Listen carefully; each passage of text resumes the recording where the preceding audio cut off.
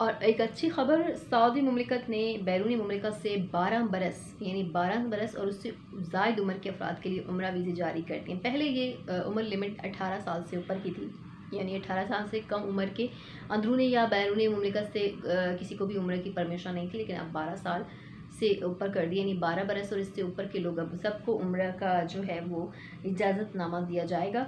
Saudi वजारत हज और उम्र का कहना है कि बैरूनी ममलिकत से बारह बरस और उससे जायद उम्र के अफराद को उम्र वीज़े जारी किए जाएँगी। उम्र कंपनियाँ उम्र के इजाज़तनामे निकालेंगी।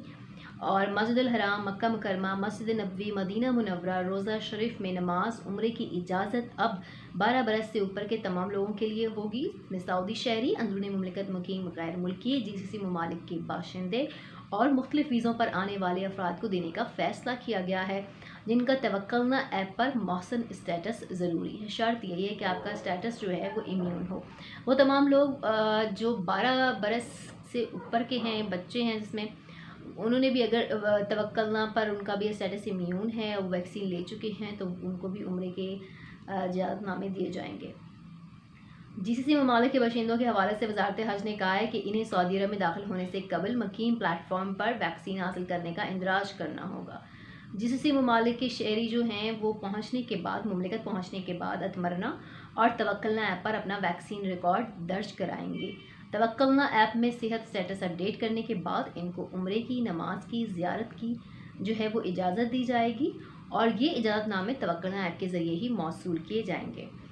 इसके अलावा वजारत हज का ये भी कहना है कि मुख्त वीज़ों पर बैरूनी ममलिकत से आने वाले जितने भी लोग हैं, उन तमाम को ममलिकत पहुँचने से कबल कदूम प्लेटफॉर्म पर अपनी वैक्सीन का इंदराज कराना होगा और ममलिकत पहुँचने के बाद इन्हें तवक्लना और अतमरना में भी इंदराज कराना होगा। फिर इन्हें तवक्लना पर जो है, सही या अतमरना ऐप से ही इजाज़तनामा मिलेगा, उम्र का, नमाज़ का और ज़ियारत का।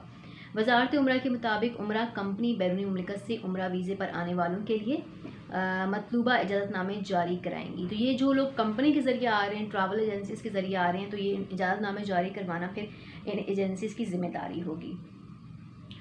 वजारत हाजुल उम्र ने इससे कबल कहा कि बैरूनी ममलिकत से उम्र की इजाज़तनामा और मस्जिद हराम में नमाज़ का इजाज़तनामा सिर्फ़ उन ज़ायरीन के लिए जारी हो रहा था जिनकी उम्र 18 से 50 बरस के दरमियान थी।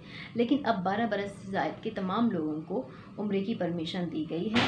पचास साल से ज़्यादा से आगे वाली जो इंतहाई उम्र है, उसकी हद तो पहले ही ख़त्म कर दी थी और 18 साल से कम उम्र के बच्चों को अलाउ नहीं था, लेकिन अब 12 बरस से दोबारा अलाउ करना शुरू कर दिया कि अब भी 12 बरस से कम उम्र के बच्चों को अलाउ नहीं है, क्योंकि 12 बरस से कम उम्र के बच्चों ने वैक्सीन नहीं ली हुई।